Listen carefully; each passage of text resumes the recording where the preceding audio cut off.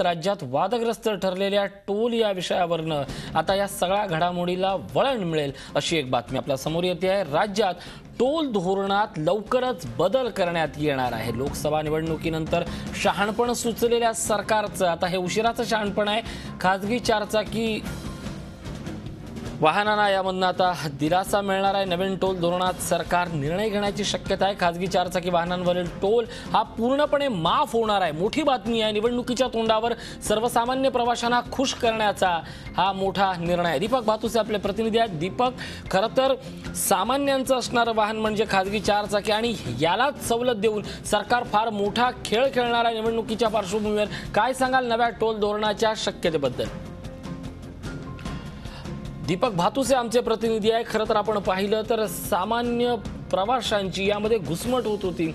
छोट्या छोट्या वाहनांमधनं नवीन लाईफस्टाईलला सामोरं जाणारा हा सगळा मध्यमवर्गीय होता. मात्र मात्र या मध्यमवर्गीयला टोलच्या नादात ती गाडी नको असं म्हणण्याची वेळ आली होती.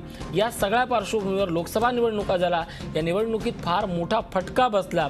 कुठंतरी थोडीशी मलमपट्टी मिळावी. सरकारच्या वा वा- बाजूला जी एक सहानुभूती निर्माण करण्याची जे काही प्रयत्न आहेत त्याच प्रयत्नाचा एक भाग म्हणून खाजगी चारचाकी वाहनांवरील टोल हा पूर्णपणे माफ होण्याची शक्यता आहे. टोलमधून दिलासा मिळण्याची शक्यता आहे. नवीन टोल धोरणमध्ये या सरकार हा निर्णय घेण्याची शक्यता आहे. निवडणुकीच्या तोंडावर सर्वसामान्य प्रवाशांना सरकार ही खुशखबर देणार आहे.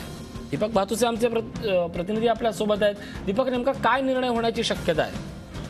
कृषी सूत्रांकडून ज्यानुसार माहिती मिळते त्यानुसार निवडणुकीच्या तोंडावरती टोल संदर्भात जो लोकांचा उद्रेक आहे तो उद्रेक दूर करण्यासाठी सरकार आता पावलं उचलत आहे आणि याच्यात महत्त्वपूर्ण निर्णय म्हणजे राज्यभरातील ज्या खाजगी मोटारी आहेत चारचाकी आणि जरा light vehicle motor vehicle L M V म्हटलं जातं त्यांच्यासाठी जो टोल आकारला जातो तो टोल पूर्णपणे माफ करण्याचा सरकार विचार करत आहे म्हणजे याच्यापुढे कुठल्याही खासगी मोटारीवर चार चाकी लहान वाहनावर टोल बसणार नाही. मग ती लहान कार असेल अथवा जीप असेल. आणि सरकार हा विचार करते ते प्रामुख्याने निवडणुकीच्या तोंडावरती लोकांचा टोल संदर्भातला उद्रेक आहे. तो उद्रेक दूर करण्यासाठी. आणि निवडणुकीमध्ये याचा फटका बसू नये आघाडी सरकारला. यामुळे सरकार हे हालचाली करत आहे सूत्रांकडून मिळणाऱ्या माहितीनुसार याच अधिवेशनामध्ये सुरू जे अधिवेशन आहे त्याचा आता एक आठवडा शिल्लक आहे. या अधिवेशनामध्ये साधारणतः पुढच्या आठवड्यात या संदर्भातलं धोरण सरकार अधिवेशनातच जाहीर करणार आहे. आणि याच्यामुळे राज्यभरातील लाखो मोटरधारकांना दिलासा मिळेल. कारण आपल्याला माहिती आहे की राज्यभरात अनेक ठिकाणी आपल्याला टोल भरावा लागतो. अगदी मुंबईतून ठाण्यात यायला ल- वाहक वाहक वाहन चालकांना टोल भरावा लागतो. त्यामुळे सरकार या संदर्भातील निर्णय हा घेऊन वाहन चालकांना जो त- त्रास होतो आणि वाहन चालकांमध्ये जो उद्रेक आहे तो उद्रेक दूर करण्याचा प्रयत्नात असल्याची माहिती मिळते.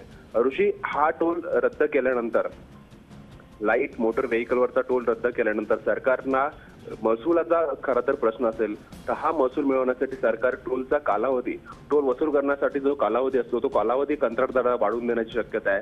त्याचबरोबर जी जड वाहनं आहेत आणि जी व्यावसायिक वाहनं आहेत म्हणजे खाजगी बसेस किंवा इतर व्यावसायिक वाहनं जी असतील त्यांच्यावरती साधारणतः टोल काही प्रमाणात वाढवण्याचा सरकार विचार करत आहे म्हणजे एकीकडे टोलचा कालावधी वाढवायचा जड वाहनांवरील खाजगी वाहनांवरील कर वाढवायचा व्यावसायिक वाहनांवरील कर वाढवायचा आणि दुसरीकडे मोटारींचा कर पूर्णपणे माफ करायचा आणि सामान्यांना दिलासा नक्कीच. एकूणच या सगळ्या निर्णयामुळे सामान्य प्रवाशांना किंवा खाजगी छोट्या वाहनधारकांना दिलासा मिळणार आहे हे मात्र नक्की. धन्यवाद दीपक या सगळ्या माहितीबद्दल.